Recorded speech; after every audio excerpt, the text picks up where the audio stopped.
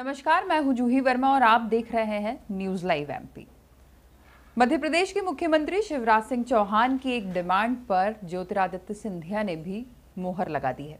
और ये डिमांड है कि आने वाला जो बजट है, अभी जो बजट सत्र शुरू होना है, फिर उस बजट में हर प्रदेश को कुछ सौगातें मिलेंगी, उनके लिए बजट मिलेगा।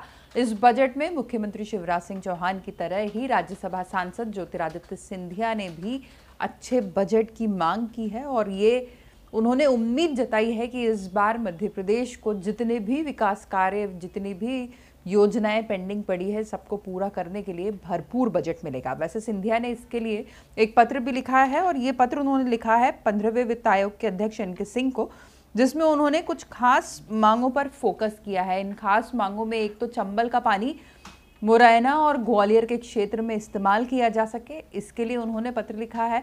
साथ ही चंदेरी के जो बुनकर हैं, उनका विकास हो सके, उनकी जो कला है, वो दूर दूर तक पहुँच सके।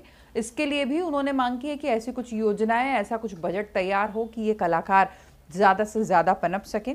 इसके अलावा ग्वालियर, चम, ग्वालियर, चंदेरी और ओरछा जैसे जो एरियाज़ हैं, जो मध्य प्रदेश की पहचान बने हुए हैं, लेकिन यहाँ पर पर्यटन उतना विकसित नहीं है। इन जगहों के टूरिज़्म के विकास के लिए भी सिंधिया ने पत्र में मेंशन किया है।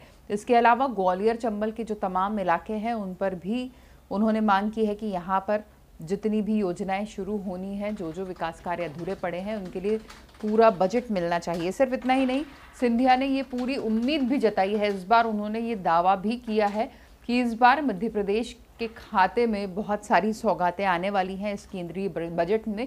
इसलिए ये केंद्रीय बजट मध्य प्रदेश के लिए बहुत खास होगा।